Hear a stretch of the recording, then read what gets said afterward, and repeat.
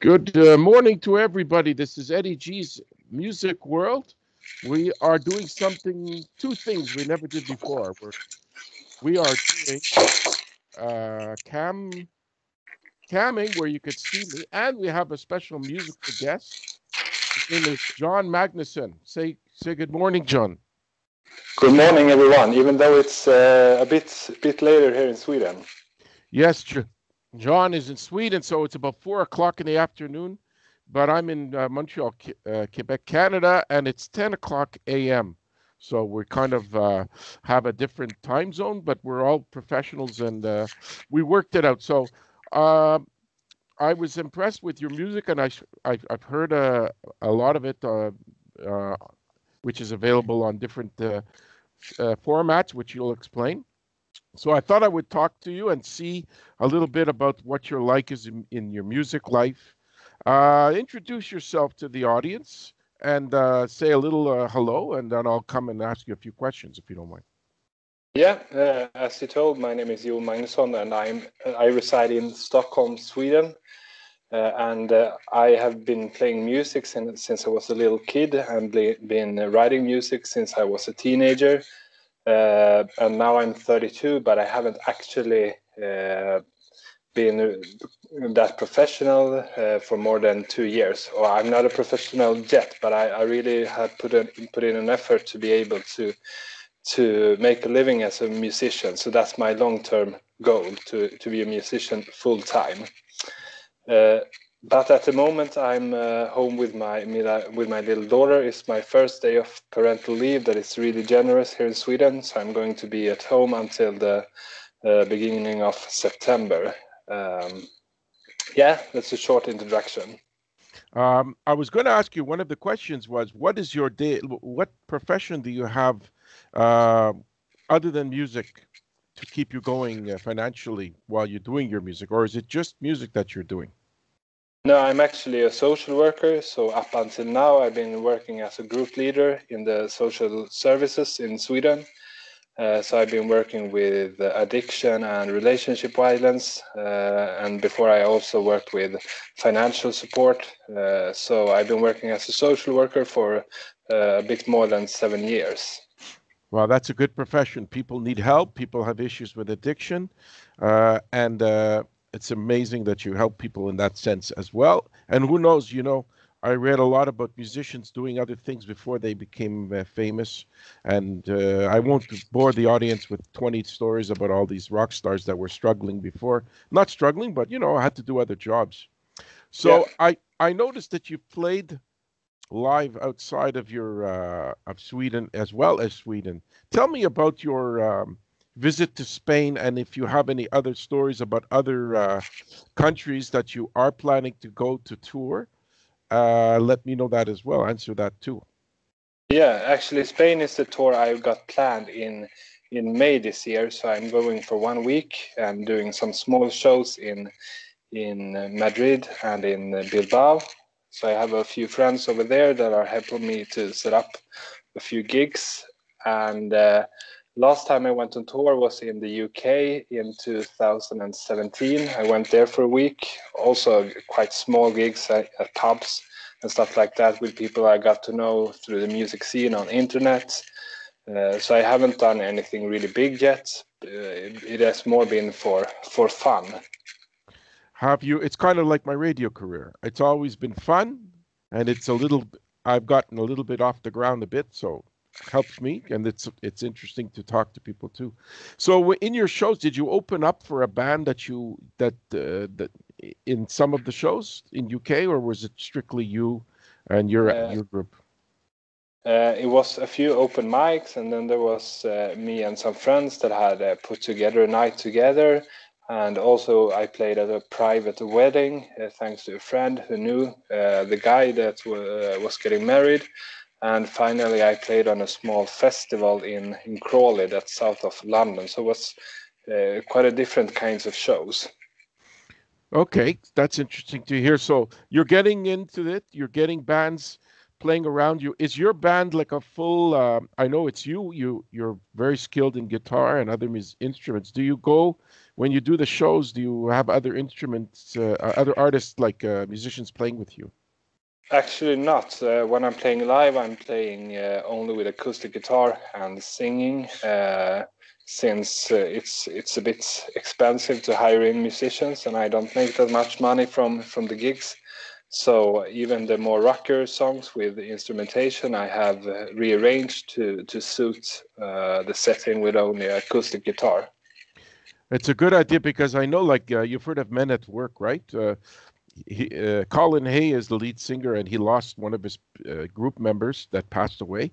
And he makes a living. He goes by himself. He does all the, from what I know, he he brings his acoustic, and maybe has a piano. He just does a show on his own without other people.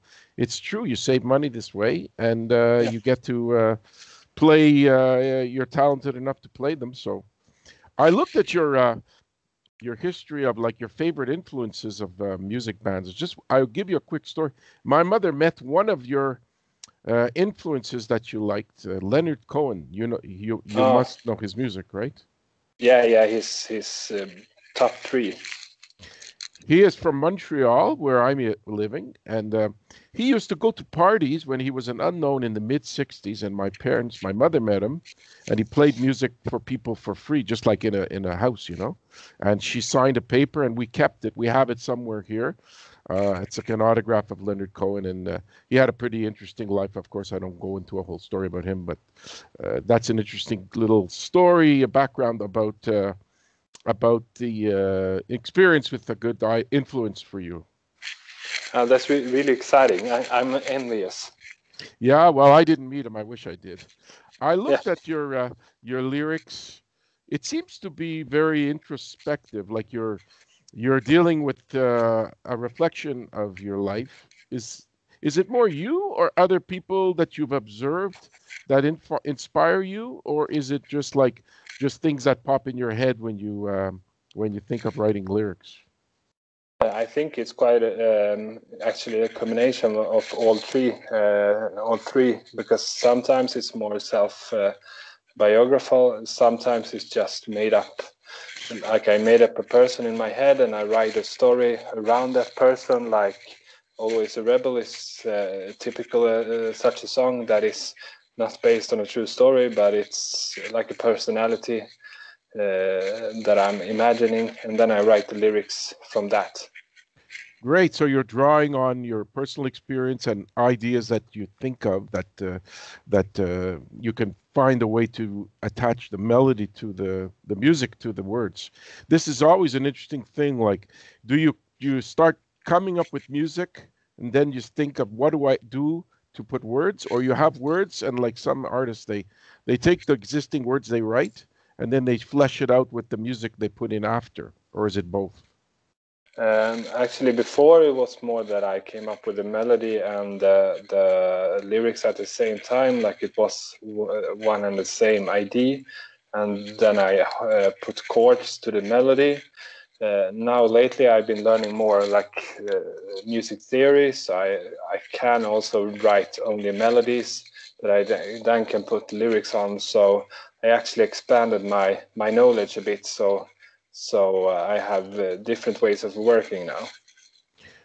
Have you ever heard your music on any radio? And if so, you would be very. I'm assuming if you do or you did, you'd be it would be the highlight of your day.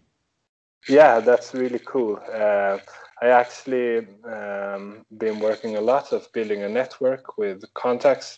Uh, like you maybe noticed, I'm very active on Twitter, uh, connecting with new people. Uh, so I actually made quite a lot of, of contacts and friends in the in the radio world. So um, yeah, I had some some radio performances as well. And uh, the biggest one was actually when they played me at public radio in Spain in December. That must have been great. I know that yeah. uh, in radio I've heard myself on the air a few times, but uh, never never a huge like uh, like my own show. But I've been on a few times, guest hosting music talk shows and stuff. So um, that sounds like your daughter. She wants. She must be your biggest fan. Yeah, she she's she she has no no option. okay. Uh, what another question? Um, what kind of bands pass through your uh, town, like Stockholm or Sweden? Let have there been like big? Uh, name a few uh, musical acts that have passed through in the last five years, just to give the people a feel for your uh, how you uh, what the concert scene is like in where you live. Uh, actually, I'm like the last five years. I haven't been that active, but before I've been seeing like Paul Simon and Leonard Cohen. I went to see uh, once in Stockholm for like eight years ago. So I think most of the big bands, when they are touring the world, they are going to to Sweden, and um, also quite a lot of indie rock bands and smaller independent bands are going to to Stockholm. So it's quite a lively scene. Uh, have you ever uh, encountered, met any celebrity types, people like that, music people, like talk to them? Uh, had a little back and forth uh, discussion or autographs with these type of uh, famous people? Yeah, one one Swedish uh, really famous artist, Håkan Hellström, but uh, no international. yeah, once I actually was was working at a festival, so I met Desmond Dekker, who's who was a really famous ska singer so I actually talked a bit with him, but he was quite up in the blue. Well, it's good to to meet people. You get a feel for their uh, experiences in the music business. Uh, in the middle of talking, I've just thought I'd ask you, throw a couple of uh, of your ways that fans can reach you, or you can reach them, ways that they can buy your music, uh, find your music, find you shows. If you have it in front of you, I should have talked to you a little bit in advance to prepare you for the just to ask you that I forgot. But if you want, sell them a couple of ways that they can find you on the internet or any other way. Yeah, the best way is through my website, uh, jonmagnusson.se. Yeah, so it's J O N M A G N U S S O N dot S E. Uh, and also on Facebook, I'm very active. I actually have a messenger channel uh, through Facebook. That's really cool. Like it's half automated, and uh, the rest of it is me being able to to interact one on one with with people. So that is really cool. Uh, and also on Twitter, uh, you can uh, find me and on all the regular uh, streaming sites like Spotify and iTunes and so forth. That's J O N with a with an without an H like Jon Bon Jovi. He says he spells it. Yeah, exactly.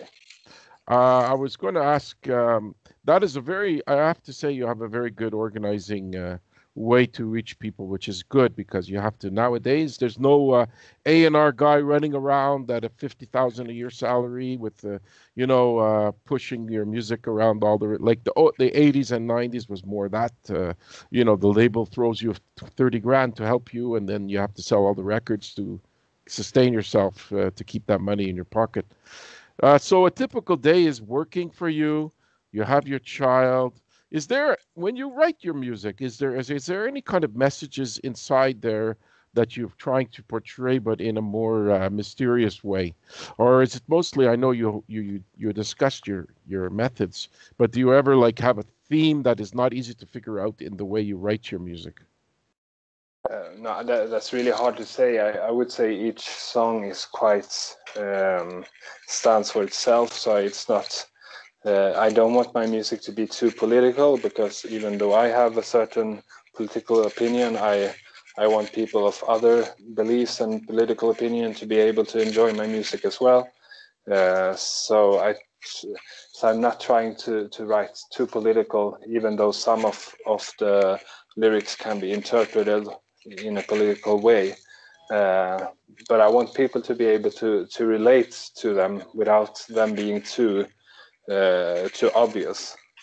Right. Well, that's a good way to do it. I mean, a lot of people they paint themselves in a corner with anti, uh, you know, they go against a certain political party, and uh, you know, then they get tagged as being uh, against one or for another. I know that in America, there's a lot of uh, anti-Trump discussions yeah. going on, and uh, you know, people uh, they go and their fans start to turn against them or they go for them. You know, it depends on that. It's a good, it's a good attitude. So if you were to say, mostly, the most uh, favorite part of your music, uh, doing your music, and the least favorite thing that you're that that's part of your music, what would you say the two things are?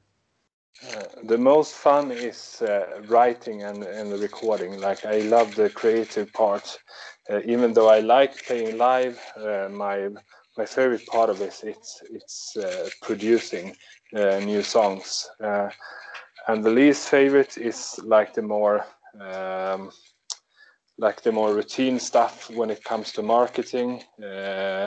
actually, now I've been working a lot to build a good system to to find new people to interact with. So so the boring part gets sorted out uh, uh, by itself.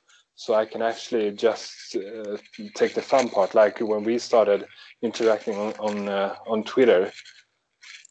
Yeah, that was fun. I like to meet. Uh, I'm a fan of uh, music, and I love new acts coming up, and I relate very well to people trying to get exposure. And I, I, I'm in a similar boat because I'm not on, you know, uh, Sirius satellite radio with Howard Stern doing shows on a famous uh, um, network or anything, but I'm working towards something better. But I still enjoy what I do too.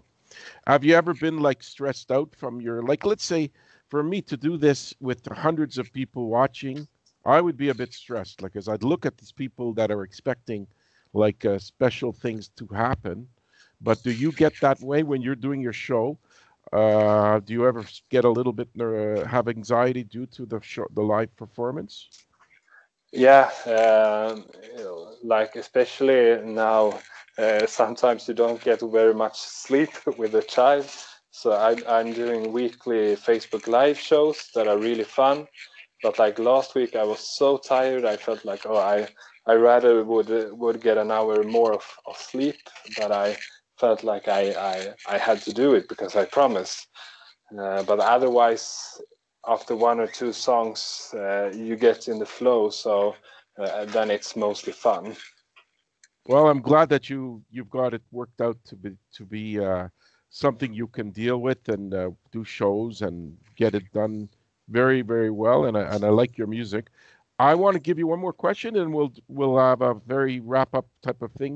Um, you have any advice for anyone else in their 20s 18 that's maybe looking towards this kind of career? They have writing and singing and they feel like they have something to offer the world. Do you have any advice just for them? Yeah like connecting with people and being being a nice person is going to take you a long way. Like you have to have a music that is good but there are so much good music out there now that that does that isn't enough. Uh, so like to have a, a, genuine interest in getting to know new people is a really big help. Uh, i think it's it can be a bit uh, sad that there are very talented musicians that aren't that social that doesn't have the same chances that they maybe had before uh, when when they could have a management doing all the social stuff for them um, so so it's pros and cons but being social and generally trying to to connect with people. Well i heard this song like this is uh, street where i was born lust for life. I like growing old disgracefully. Uh, i didn't ask you this in advance but if you happen to have it around uh, you could play a couple of songs a little bit of each one if you but don't spend like you know i don't want you to go looking digging it up. If it's handy next to you uh, play a bit of some of one or two songs if you would like. It's up to you. Yeah unfortunately i'm, I'm on my phone so i don't have okay. the possibility. But if you want uh, i can send you the files if you want to to put them in the in the recording. Uh, well what i can do is i'm going to uh, tweet out a few of your songs uh, here and there this week to give you a little bit more, uh, maybe a little bit more people to hear it. I don't. I, if there is a way to do it, I have a guy that is kind of a helper in the in this kind of show. If he, I'm gonna, I'm gonna uh, contact him later and try to uh, get him to put some of that music on. I think he can do it. I wanted yeah. to thank you very much for your uh, your input with this interview. You have a very interesting person. I do wish you the best of luck. Um, and what I would say again is throw a Jon Magnusson, throw us again a couple of ways to find you on the internet or uh, ways to hear your songs again. And uh, then from there, we'll say uh, thank you for the last time. Yeah, uh, my homepage is the best place uh, where you can find links to all my music on different sites and also links to all my social media. So that's jonmagnusson.se, J O N M A G N U S S O N dot. And also, uh, my messenger channel is the place where I I interact the most with people one on one and also uh, put out like exclusive songs and behind the scenes stuff. So that that is a really cool channel. Okay, well, thank you very much, Jon. Get back to your daughter. Good luck on your music career. You know how to find me. I know how to find you. If ever you yeah. want to update me on things, uh, be feel free to do so. And uh, like I said, I appreciate your time very much. And uh, um, good luck for you, my friend, and keep in touch. Yeah, thank you very much. Thanks, Jon. Take Talk care. soon. Bye. Bye-bye. Bye.